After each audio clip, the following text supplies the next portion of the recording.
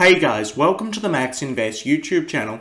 In today's video, we're going to be going over some huge news in the Ethereum network. There's tons and tons of different things that are happening on top of Ethereum. Reddit is using Ethereum, GameStop is likely going to be using Ethereum, and Discord is also using Ethereum, and all of these announcements have just came out in the past week or so, which is absolutely massive. Of course, if you enjoy the video, remember to like and subscribe to the channel, follow me on Twitter, join the Discord channel, and remember, nothing in this video is financial advice. So let's get into the video. The first topic that I want to discuss is the Discord and Ethereum partnership. As you can see, Jason, who is one of the founders of Discord, posted a screenshot on his Twitter page. This screenshot shows that Ethereum is integrating with Discord. Essentially, what you're going to be able to do is you're going to go down to your connections page on Discord, and then you'll be able to connect with an Ethereum wallet address. Now, once you connect with that Ethereum wallet address, the possibilities are absolutely en endless. The first thing that I assume Discord is going to be doing is they're probably going to be doing something surrounding NFTs, such as allowing individuals to display their NFTs on Discord. However, there is so much more that you can do. Essentially, one of the things that I'm very, very bullish on is sign in with your Web3 identity. Essentially, everyone will have an Ethereum wallet address. So everyone should have MetaMask and you'll have your own unique wallet address. Now, you can have an Ethereum name attached to that. So you could have max.eth attached to it or any other ENS name service attached to it. Now, what you're going to be able to do is you're going to be able to sign in with Ethereum. Essentially, when you want to connect to Discord, all you'll need to do is put in your wallet address and then you'll be able to connect with it. You just need to connect your wallet to Discord. This works with absolutely everything. Currently, if I'm using decentralized finance applications like Curve Finance, or if I'm doing anything on Polygon, all I do is I sign in with my Ethereum address, and this basically allows me to use whatever applications I want. Of course, this is currently only in the Web3 world, however, it looks like the Web2 world like Discord, Reddit, and all of these other platforms are starting to integrate sign in with Ethereum, which is absolutely massive. Of course, we don't know all of the specific details about the Discord and Ethereum partnership. However, I assume there will be a lot of big things to come, and this makes me very, very bullish. Now, the next big thing that I wanted to talk about is Reddit is going to be using Ethereum. Essentially, what Reddit are doing is they're putting their community points system on top of the Arbitrum network. So this means that whenever you're buying or selling community points within Reddit, you're actually using the Ethereum network behind the scenes. Now, this is something that we've known since January, so this isn't new news. However, even bigger news came out about Reddit. Essentially, what Reddit did is Reddit hired a lead blockchain expert. Now, the lead blockchain expert is called Raul, and Raul essentially has the sound money sign for Ethereum on top of his Twitter page. So, this blockchain expert absolutely loves Ethereum. He's been tweeting about zero knowledge rollups, volitions, validiums, and he's very, very interested in the Ethereum network.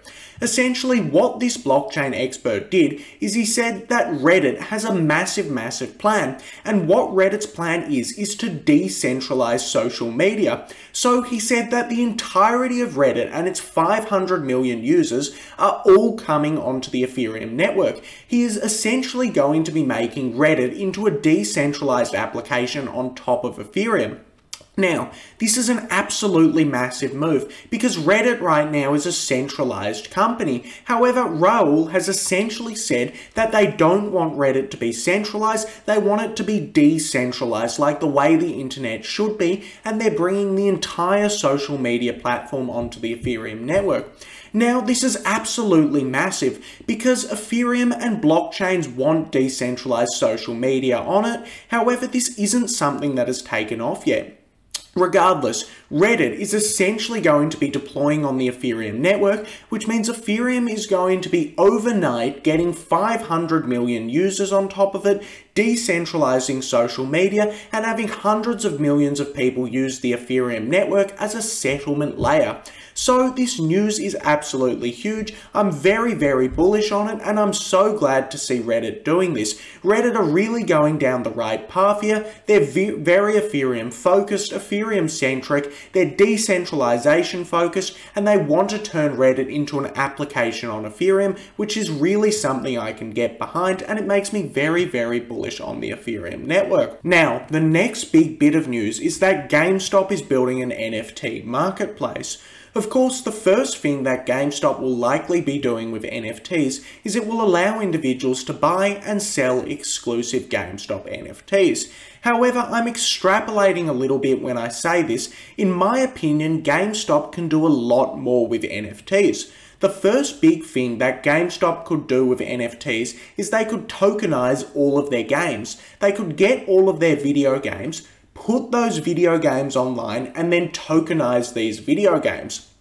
Now, there's a few huge benefits to actually tokenizing video games, tokenizing movies, and tokenizing these items that I do think this is going to happen in the future.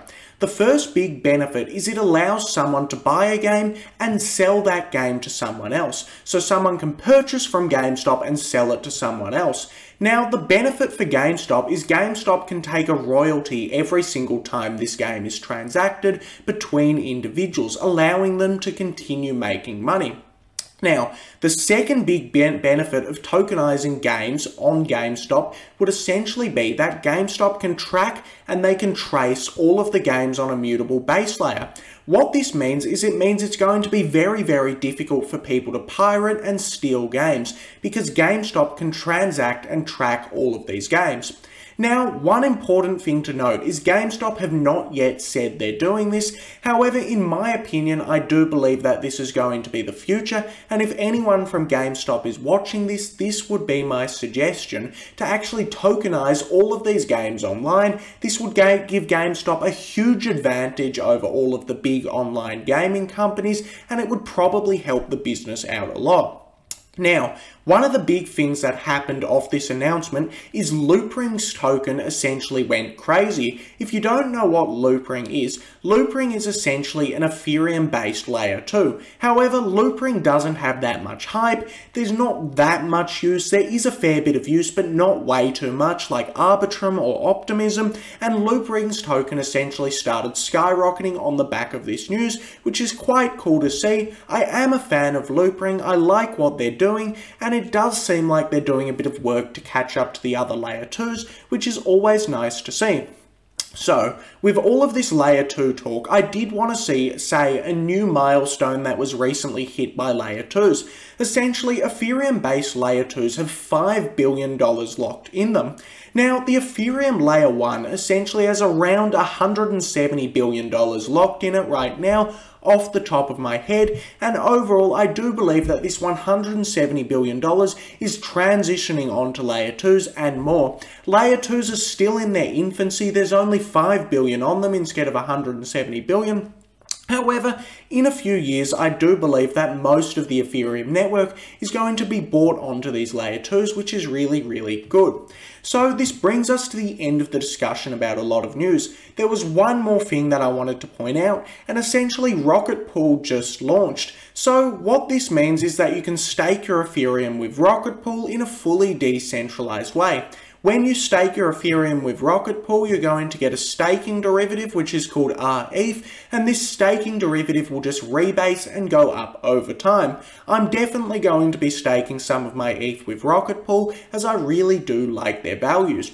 Anyway, this brings us to the end of the video. If you enjoyed the video, remember to like and subscribe to the channel, and thanks for watching the video.